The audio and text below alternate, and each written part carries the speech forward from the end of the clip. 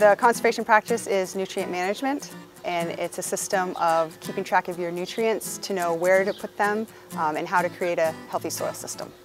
On this farm, it's done through managing the manure in a bedded pack system. So creating a compost with bedding and the manure and urine from the animals to then create compost that is land applied. We operate a small family farm located here in Highgate Center. We are certified organic and we manage about 130 all grass-fed animals. These bedded pack barns make great winter pastures and they make a great covered barnyard.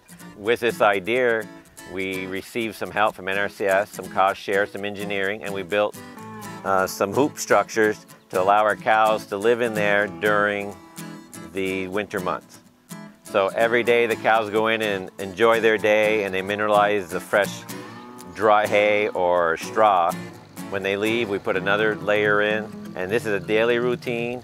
And by the end of winter, we have four to five feet of this mineralized carbon source that we're really looking forward to putting back on the land to feed the soil.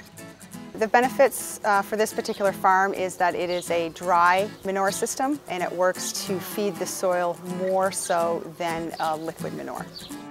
I've been working with Guy for quite a few years. He's been very willing to learn and adapt and make changes on his farm. They are really a farm that sets a very good example for conservation.